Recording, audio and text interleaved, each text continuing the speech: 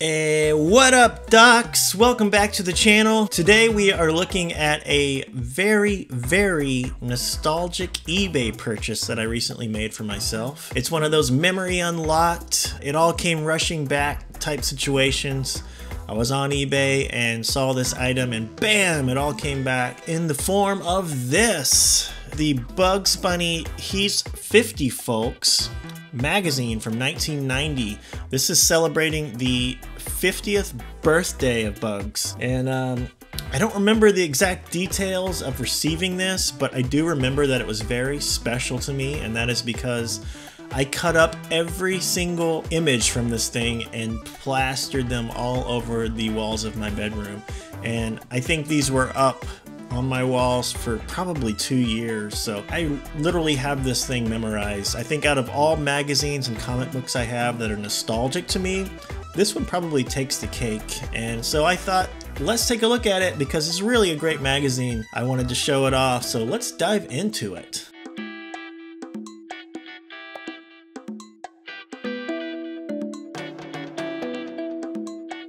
One of the coolest things about this magazine is the ads. You've got some really great ones in here, and they're all Warner Brothers or Looney Tunes related. There's a Holiday Inn ad here with the gang. It's kids season at Holiday Inn. There's a really cool two-page spread of Warner Home Video introducing some new titles.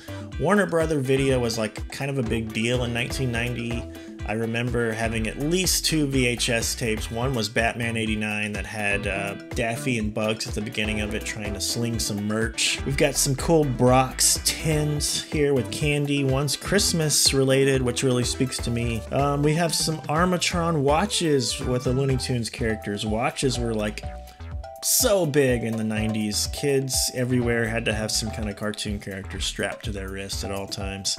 I know I did. Three cheers for Bugs Bunny on his 50th. It's the man himself uh, with some Cheerios. There's also an ad of a CBS TV one hour special celebrating Bug's 50th birthday. Uh, it's got live stars and celebrities, it says. Hollywood celebrates Bugs' 50th birthday. I don't remember this, but it looks really cool. One of my favorite things in the magazine growing up was this animation cell straight out of the upcoming Bugs movie, Box Office Bunny. I did not hang this on the wall, but I know that I loved it. Okay, hands down, the best part of this book is the well wishing and birthday tributes from all the cartoon and comic strip characters of the day. You know, I love a good crossover, and this was the first for me. So we've got um, some really cool imagery here. First up, Pogo, which was a really cool comic strip that I loved as a small child. I had Pogo figures in my room. We've got the characters here mingling with the Looney Tunes, which I just think is so great. We've got Dagwood offering uh, Bugs a gold plated 50 carat sandwich. We've got Garfield himself wishing Bugs a uh, happy birthday. One of my favorites, Snoopy. How could anyone live in a hole and eat carrots for 50 years?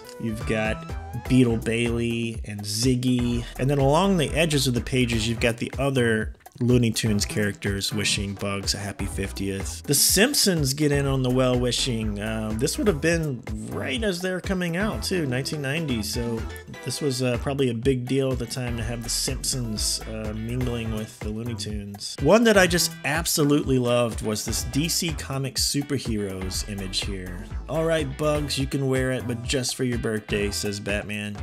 Kind of reminds me of the uh, McDonald's Warner Brothers, Looney Tunes, DC mashup toys. Here's another great section, Hollywood Agent, where they talk about this guy Dan Romanelli and how he just licensed the shit out of every single Warner Brothers cartoon character. We've got Nintendo games, there are ceramics, clothing, there's a chess set, bracelets, bikes. The magazine also has a write-up on the new Tiny Toons cartoon that was premiering later in the year in September. There's a cool Q&A with Steven Spielberg Spielberg himself introduces all the characters, their names, what they're all about.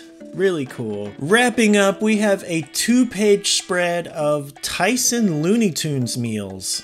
I was more of a Hungry Man or kid cuisine guy myself, so I don't really remember these, but I love them, and I love how each character has kind of a spin on their meal. We've got a Bugs Bunny chicken chunks, Yosemite Sam barbecue chicken, Sylvester fish sticks, and so on. And quite possibly the coolest ad in the magazine is this limited edition porcelain collectible exclusive to this book. It's a That's 50 Folks Bugs Bunny statue hand painted. And that's it, folks. I hope you enjoyed looking at the 1990 Bugs Bunny magazine with me today. I'm a little bummed out because I feel like magazines in general are a dying art and we've got all this nostalgia for blockbuster video and vinyl records. But how about some uh, magazine love? Let's uh, let's drum some up. Anyway, hope you all have a great week. I will see you in the next video. Bye bye.